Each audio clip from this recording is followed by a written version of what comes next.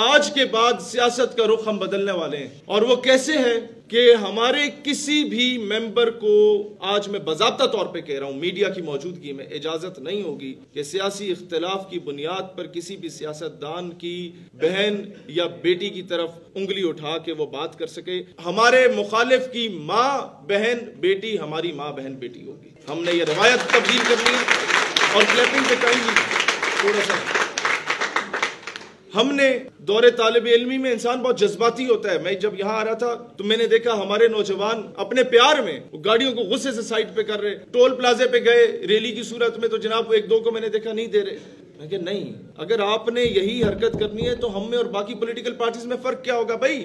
आपने नौजवानों इस कौम की तरबियत करनी है। आज के बाद आप टैक्स देंगे तो पाकिस्तान अपने मकाम पे, अपने कदमों पे खड़ा होगा। ये रियासत को सर्व कर रहे हैं हम लोग, अगर हम लोग टैक्स दे रहे हैं। आपके हलके में अगर कोई दूसरी पार्टी का कैंडिडेट हलके में, क्या आपकी गली में भी आता है ना? तो आपने उसका इस्तकबाल करना है। आपने अपने गाँव देहात में किसी भी दूसरी पार्टी के सपोर्टर का रास्ता बंद नहीं करना, जो जमीनों का रास्ता बंद किया जाता है, उसकी वजह क्या है? हमने अब बदमाशी की सियासत नहीं करनी। हमने अपने अखलाक, किरदार और दलील की बुनियाद पे आवाम हमें वोट देगी और इसकी मैं आपको गारंटी देता हूँ।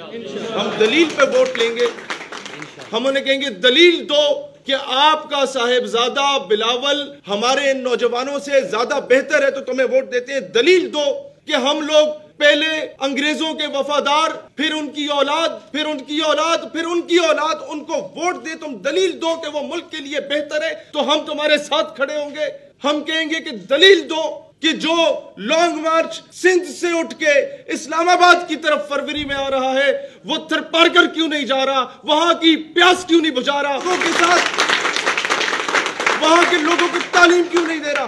दलील के जनाब, आपके मियाँ साहब को लीडर मान लिया, हमारे वज़ीर आज़म थे। यार, किस बेस पे आपके पूरी पूरी पॉलिटिकल पार्टीज़ में और कोई लीडरशिप नहीं है? वो मर गए कि आप बच्चों को उठा के लीडर बना रहे हैं? किस बेस पे? सेल्फ मेड लोग एहसन इकबाल जैसे जीरक लोग, दूसरी तरफ़ कमर जमान कायरा जैसे जीरक लोग। मतलब खुर्शीद शाह जिनकी एक्सपीरियंस इन बच्चों से ज़्यादा है, उनको क्यों जद्दी पुश्ती गुलामी पे लगाया जाए ये वडेरा शाही की गुलामी नहीं चलेगी। अब ये जागीरदाराना निज़ाम की गुलामी नहीं चलेगी। उनके हुक्के प्यो दादे भरा करते थे, हम नहीं भरा करेंगे भाईजान।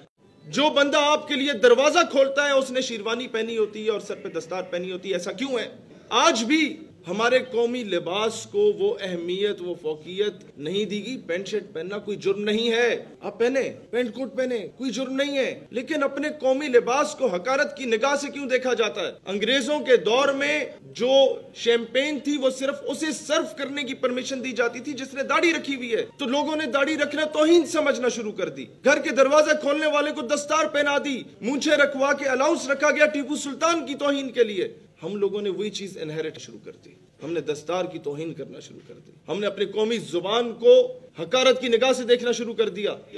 हमारे ओ ए लेवल्स के जितने स्कूल्स हैं, वहाँ पर कई जगहों पे ये लिखा होता है, बाजाबता तौर पे कि उर्दू बोलने पर जब मैं छठी क्लास में था तो दस रुपए एक जुमला, एक लफ्ज बोलने पे फाइन होता था। तो मीडिया एंड एंटरटेनमेंट पर हम लोगों ने उस रिफॉर्म्स की बात की जब आप लोग हमारी एज के होते थे, उस वक्त जो ड्रामा सीरियल्स चला करते थे पीटीवी पे, पूरा खानदान बैठ के देखा करता था। कौम की तरबियत हुआ करती थी। आज कई ऐसे ड्रामा सीरियल्स आ गए कि बाप अपनी जवान बेटी के साथ बैठ के नहीं देख सकता। हम कौम को किस तरफ़ लेके जाए हम कौम के जवानों और बेटियों की क्या तरबियत कर रहे हैं? हम लोगों ने वापस जो टीपू सुल्तान का एक ड्रामा सीरियल आया करता था हमारे टीवी चैनल्स पे, जो अलामा इकबाल और कायदे आज़म को आइडियलाइज किया जाता था, निशान हैदर हासिल करने वाले शोहदा को दिखाया जाता था तो कौम का बच्चा भी वो बनना चाहता था। हम लोग वो रिफॉर्म्स लेके आएँगे कि हकीकी मैनों में नूरुद्दीन जंगी जैसी शख्सियात पर हम लोग ड्रामा सीरियल्स लेके आएँगे, ताकि हमारी तहजीब, सकाफत, हमारी हिस्ट्री, हमारे बच्चों को पता पता हो and they should be proud of it Pakistan अपने फैसले खुद करे। किसी के कहने पे फैसले ना हो हमारे मुल्क के। किसी के कहने पे एक मुल्क से कर्ज लो। फिर उसको वापस कर लो सूद के साथ और उसके लिए किसी और से कर्ज लो, फिर उसके आगे सजदा रेज हो जाओ। फिर उसे वापस करने के लिए किसी और से कर्ज लो, फिर उसके आगे सजदा रेज हो जाओ। कब तक ये गुलामी होगी? हमने लॉ बनाना है इंशाल्लाह ताला कि जिस शख्स की मलकियत दस करोड़ से ज़्यादा की मलकियत के असाजात जिसके पास हैं, उसका 10 परसेंट रियासत का होगा और इस तरीके से टैक्स का जो बोझ है वो गरीब पे भी नहीं पड़ेगा और ऑटोमेटिकली पाकिस्तान अपने कर्जों से पाक हो सकता है। अब सवाल ये पैदा होता है कि ये कैसे होगा? वर्ल्ड वॉर के बाद जर्मनी हैंड टू माउथ हो चुका था। खाने को नहीं था इतना कुछ वहाँ पर। लोगों ने कहा कि अब कई सालों तक हम सोना नहीं पहनेंगे। लोगों ने कहा यह कानून बन गया कि one fourth of the entire property belongs to state आपके घर में चार कमरे हैं तो एक कमरा रियासत का है। आपका चार जोड़े कपड़ों के पहनते तो एक जोड़ा रियासत का है। जर्मनी आज दुनिया में कहा पहुँच चुका है? हम लोगों ने जक़ात के पैसे भी चोरी हम लोगों ने खैरात के पैसे भी चोरी किए। हम लोगों ने, जो मेरा लेक टावर में मैं जाके रहा, आपको हैरत होगी कि हमारा एक सबक वज़ीर उसके चार टावर हैं जिसमें वो 40 करोड़ से जायद एक रात का कमाते हैं। वो पैसा लंदन में जाता है, वो पाकिस्तान में क्यों नहीं आता? ये बात ये नारे लगाने वाले हमारे हैंडसम वज़ीर आज़म क्यों इसे प्रैक्टिकली इंप्लीमेंट नहीं कर रहे? यहाँ नौजवानों में से 80 परसेंट वो बैठे हैं, जिन्हें एक उम्मीद की किरण नज़र आई थी खान साहब में। लेकिन अब मायूस होके आए हैं कि नहीं मेरे पास रोता हुआ आता था, मुस्लिम स्टूडेंट फेडरेशन का नौजवान, इंसाफ स्टूडेंट फेडरेशन का नौजवान पीपल्स पार्टी की स्टूडेंट फेडरेशन का नौजवान। यार बारह बारह साल हम लोग मेहनत करते हैं बारह बारह साल हम लोग नारे लगाते हैं वॉल चौकिंग करते हैं। हम लोग खान मलिक चौधरी के आगे पीछे फिर रहे होते। हम लोग एक जदोजहद करते हैं for the sake of Pakistan के यार, हमने इस मुल्क को कुछ मकाम पे पहुंचाना, लेकिन 12 साल 14 साल के बाद एक किसी और पार्टी से ले पालक ला के हमारे ऊपर मुसलत कर दिया जाता है, और हमें अभी उसी की हिमायत करनी पड़ती है, और हम वहीं के वहीं रहते हैं। कब तक ये चलेगा? कब तक ये तबकाती निज़ाम चलेगा? मुल्क से गद्दारियाँ खत्म करनी है। मुल्क से करप्शन खत्म करनी है मुल्क से बदनवानी खत्म करनी है तो किस बुनियाद पे? कोई ऑफिसर जब रिटायर होता है, कोई M N M P senator retire होता है टेन्योर कंप्लीट करता है, दो साल तक ये लॉ बना दिया जाए कि वो मुल्क से बाहर नहीं जा सकता। उसके मोबाइल फ़ोन लो, उसका फ्रांसिक करो, उसके फ्रंट मैन के मोबाइल फ़ोन लेके फ्रांसिक करो, उसकी बेगम साहिबा, उसके बच्चों, उसके खानदान वालों के बैंक अकाउंट्स को देखो कि ये जो ठेकेदारी के पैसे दो करोड़ की सड़क जो है, ये 20-20 करोड़ में क्यों बन रही थी भाईजान? ये मेरी आवाम के टैक्स को पैसा था।